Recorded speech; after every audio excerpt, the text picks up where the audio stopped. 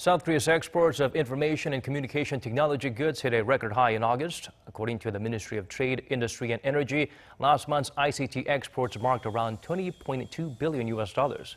That's the highest since related figures were first compiled back in 1996. The rise has been attributed to strong global demand for Seoul semiconductors and display panels. Chip exports jumped more than 30% last month compared to the same period last year.